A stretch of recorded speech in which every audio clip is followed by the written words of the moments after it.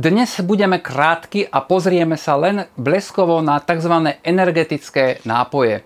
To je teraz taký hit, už pár rokov to trvá, v každom obchode už dostať od mnohých výrobcov také plechovky, pol-litrové alebo štvrtlitrové, v ktorých je taká žbrnda alebo nejaký nápoj, ktorý slúbuje takýto dlhý zoznam vitamínov B alebo iných vitamínov, aby to vyzeralo, aké je to strašne zdravé a obsahuje to nejaký taurín, kofeín alebo niečo podobné, čo vás Eh, nakopne. Samozrejme stačila by káva, no ale to vám výrobca nepovie.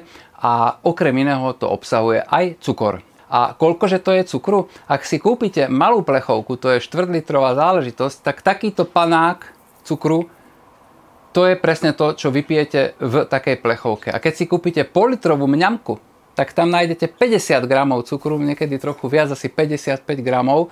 A ja by som sa spýtal, ak chudnete, Dali by ste si 55 gramov cukru len tak, ako tento papagaj, povedzme, choď preč, to není zdravé, musím zahnať zdravé vtáctvo. Proste energetické nápoje pri chudnutí nemajú svoje miesto. Dokonca by som povedal, že nemajú svoje miesto ani veľmi v živote, pretože najlepšie je žiť tak, aby ste sa nepotrebovali nakopávať nejakými nápojmi.